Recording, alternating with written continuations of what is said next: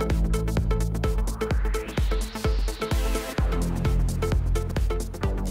guys, and welcome back to Science Wrap. You're probably thinking, Science Wrap, what's that? I you haven't posted in so long. I'm really sorry about that. In the middle of data collection, so basically been working for about a month straight um, collecting data. So I thought today, as a fun getting back into the swing of things, I would share with you what my postdoctoral project is. And actually, I've just come from a talk at the university that I gave, which was a speed talk outlining all about the project. So, without further ado, enjoy. And we'll be back to a regular episode again very soon. Bye. So, it's the stuff of movie magic creatures forged by motion capture technology.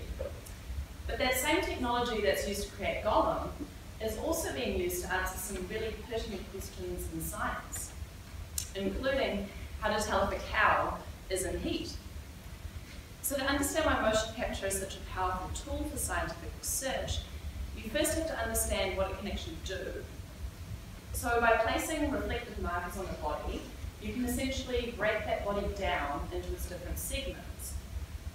By then tracking how the position of those markers changes in three-dimensional space, you can really precisely measure movement through things like uh, segment rotation, uh, joint angles, or the distance between landmarks.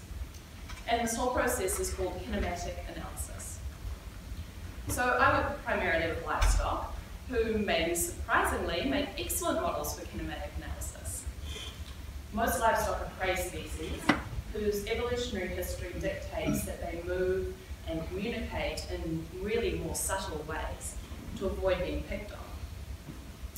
Add to this then an indoor agricultural system in Canada and an animal's behavioural expression may be further limited.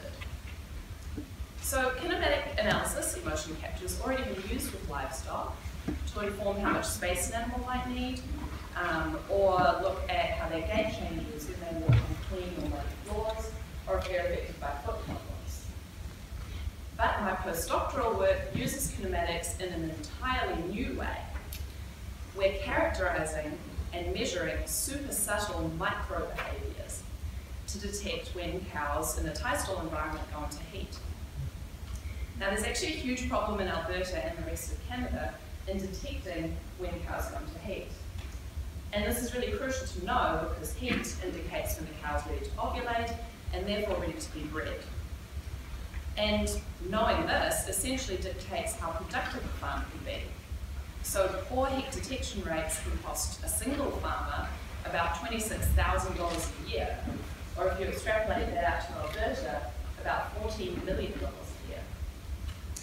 So by motion capturing cows as they approach ovulation, we hope to precisely determine uh, how their body moves in terms of hip rotation, tail movement, and hind limb joint angles.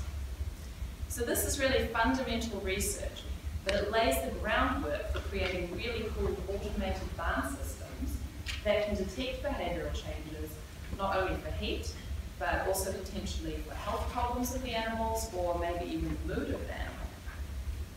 What this all comes down to is um, better understanding of individual animals, um, uh, happier animals, and more productive.